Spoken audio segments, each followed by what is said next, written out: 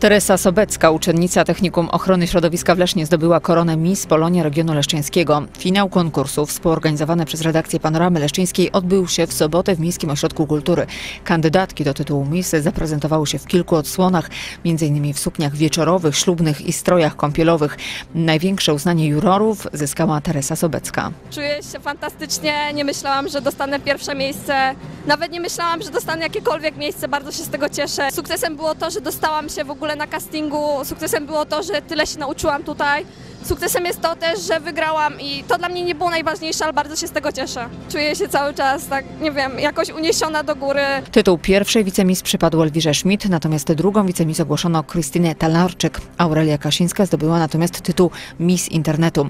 Kolejne prezentacje kandydatek do tytułu Miss przeplatane były występami artystycznymi. Elżbieta Kuśnierek z Panoramy Leszczyńskiej była bardzo zadowolona z organizacji i przebiegu imprezy.